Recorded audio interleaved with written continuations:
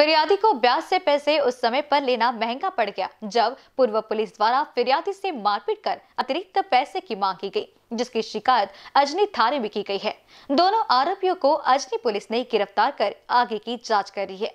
Corona कार्यकाल और lockdown में हर कोई व्यक्ति आर्थिक परेशानी से जूझ रहा है। इसलिए कई लोग ब्याज पर पैसे लेकर अपने कामकाज पूरे कर रहे हैं। लेकिन ब्याज पर पैसा देने वाले कुछ लोग इसका गैर फ़ायदा उठाते हैं। पीड़ितों को धमकी देना, ज़्यादा पैसे की उगाही करना और बस चले तो मारा पीटी करना आदि काम कर रहे हैं। ऐसा ही एक मामला अजनी थाने में आया है। फिरियादी की शिकायत पर अजनी पुलिस ने पूर्व पुलिस आरोपी विजय सेलोटे और जैन सेलोटे भगवान नगर इन्हें गिरफ़्तार कर भानवी की कलम तीन सौ छियासी, तीन सौ तेईस 504, 506 और महाराष्ट्र साहूकारी अधिनियम 2014 हज़ार 45 के तहत मामला दर्ज किया है। फिरियादी मनीष राउत ने पूर्व पुलिस आरोपी विजय सेलोंटे और जैन सिलोटे से 4 लाख का पैसा 10 टका ब्याज से लिया था। अब तक के कुल रकम और ब्याज पकड़कर फिरियादी मनीष राउत ने सात लाख बीस हज़ार दे दी बावजूद इसके आरोपी ने सतानवे लाख और चाहिए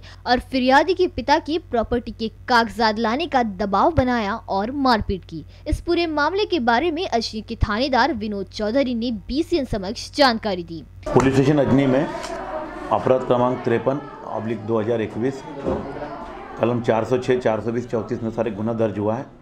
उसमें फिरियादी महिला है श्रीमती सुनंदा चित्तरंजन देशमुख। एक महिला है जो अपने घर में plot number 28 Kalyaneshwar Nagar Manewada road Besa में रहती थी। उनके पहले पति के साथ में उनका डिवोर्स हो चुका था। और दोनों बेटियों की शादी होकर वो अलग रहती थी। ये महिला वहाँ अकेली रहती थी। उसके घर में ये दोनों आरोपी किराए से रहते थे पति पत्नी प्रवीण सुधाकर भावसार और पूनम प्रवीण भावसार। महिला अकेली होने के कारण उसका ये लोग ने फ़ायदा उठाया, उसको अपने विश्वास में लिया और विश्वास में लेकर उसको बोला कि तू ये रहने वाला घर को भेज दे और ये घर बेच के हम तुम्हारा कोई नया बिज़नेस लगा के देंगे। इसलिए महिला ने वो अपना घर, महिला का घर इन्होंने ही बिचवा दिया आरोपियों ने अड़तीस लाख में। जिसमें से इनके साथ में ऐसा समझौता हुआ था कि इसमें से पंद्रह लाख जो है महिला के पति है, जिससे डिवोर्स हुआ था उसको देंगे। तो पंद्रह लाख उन्होंने उसके पति को दिया है।